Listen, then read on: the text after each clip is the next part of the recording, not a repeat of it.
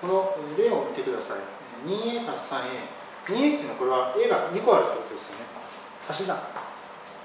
A が2つ。でこちらの 3a っていうのはこれ A3 つの足し算です。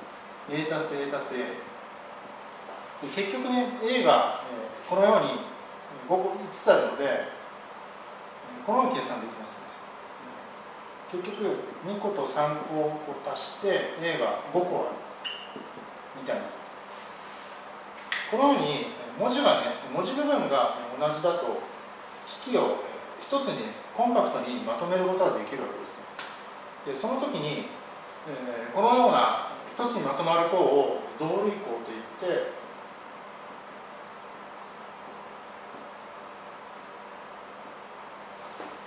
係数のね足し算だけでこのようなコンパクトな式に直すことができます。例えば MA たす NA だったらこれ A に関する同類項になるので、え係数の足し算ですね。係数の M たす N をすることでこのようコンパクトにまとめることができる引き算だったら係数の引き算をするんですね。M-N それを M-N を計算したあの係数の計算した数値を A の係数にすればいいわけですから。このようにあの係数の足し引きだけで簡単にこの同類項というのをまとめることが実はできます。例を、ね、使ってやっていきましょう。5a たす 2b 4a たす 3b 文字部分が同じのは 5a とのマイナス引くことの 4a です。ねそれから 2b それと 3b こいつらが互いに同類項ということになりますで同類項ちょっとワンステップですね。計算の過程を追っていきましょう。まず、え式をね、え同類項ごとに並べ替えましょう。5a と 4a で足すことの 2b と 3b こいつらが同類項です計算できるもの同士順番をねあの並び替えます。次に同類項同士っていうのはあの係数の足し引きをすればいいだけなので、えー、5-4こいつが A の係数になりますね。で2たす3これが B の係数になる。イコール、えー、1A だからこいつはただの A になって、えー、5B 同類項をこうやってあのまとめて、ね、簡単にすることができ,、えー、できます。これも今まず同類項を見つけて同類項を並べ替える。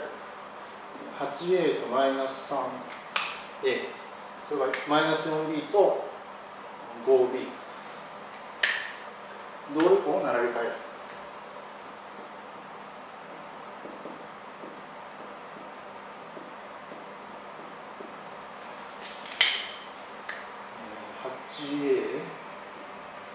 ことの3年それか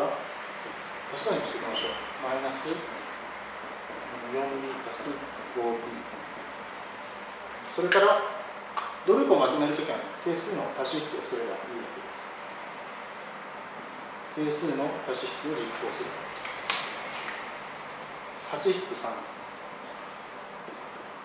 8引く3これが A の係数になる。でマイナス4足す5これが B の係数に。なる8引く3 5, 5, 5だから 5A 前の方は5です。後ろの子マイナス4足す5っていうのはこれただの1なので1はね文字式の前に来るとこれ省略してこのようにね同類をあの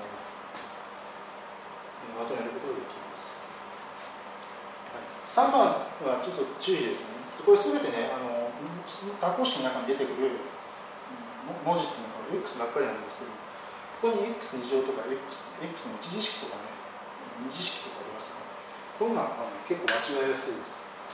実数が異なるものっていうのはこれは同類項として扱うことはできません。実数が異なるものは同類項として扱うことはできないのでまとめて計算することができない。まとめることはできない。だから文字式としてこいつとこいつは全く別の別物だというふうに考えて計算するしかないです。同類項じゃ分類していきましょう x に関して2次の項それから x に関して1次の項これらが互いに同力項になっています。順番を振り返ってみましょう。2次の項 2x2 乗。引くことの x2 乗。それから x の1次の項こういうところです。マイナス 5x プラス 3x で残ったマイナス3をどっかどっか外側に書いていてあと実数の計算です。2-1でそれは x の2乗の係数。で係数を計算します。マイナス5たす3マイナス5たす3これは x の1乗の係数です。でマイナス3こいつはも何も計算するのがないのでそのままあのほったらかして書いてみましょう2引く1で、うん、x 乗マイナス5たす3は2で引くことの3でこうやってあの文字式、えー、文字式の動力を、ね、まとめて、えー、プロに簡単にすることができました。